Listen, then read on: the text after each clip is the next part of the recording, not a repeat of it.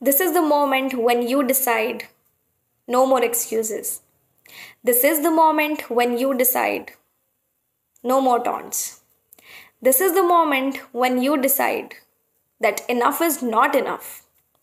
This is the moment when you decide that you will work, regardless how many hurdles come in your way. This is the moment when you decide that you will never quit. मुश्किलें आएंगी राह में पर आपको ही decide करना है कि आपको रुकना है या नहीं रुकना है।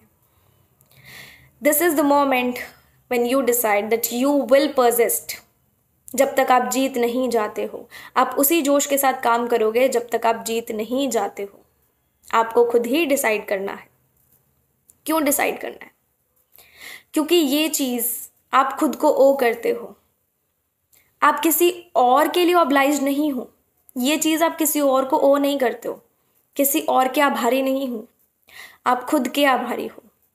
You owe it to yourself nobody else काफ़ी लोग कहेंगे खुद के लिए काम करना इज़ सेल्फिशनेस काफ़ी लोग ये भी कहते हैं कि हम लोग अपनी फैमिलीज़ के लिए काम करते हैं, अपनी फैमिलीज़ को खुश करते हैं।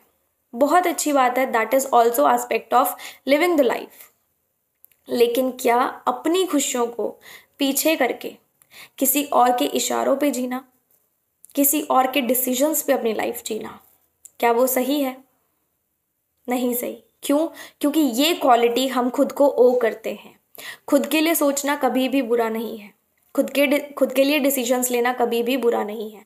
अगर आपको पढ़ना है तो आपको पढ़ना ही है। अगर आपको नौकरी लेनी है तो लेनी ही है। कोई भी आपको रोक नहीं सकता।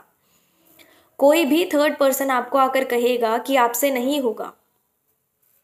बोल दो enough is enough I would not listen to it क्योंकि आप ऐसे नहीं हो. नो योर वर्थ आप खुद जानो कि आपके अंदर क्या क्वालिटीज़ हैं, आपकी वर्थ क्या है. थोड़ा सा सेल्फिश बन सकते हैं. खुद के लिए काम कर सकते हैं. दूसरों के इशारों पर वो मीडियोकर लाइफ जीना, जो आप हेट करते हो.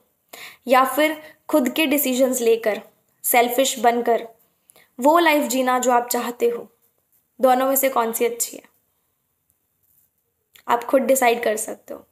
और उस लाइफ को पाने के लिए आपको खूब मेहनत करनी पड़ेगी। वो आप करोगे I know that so today is that moment जब आप डिसाइड करते हो that you will work for yourself only and you know your worth good luck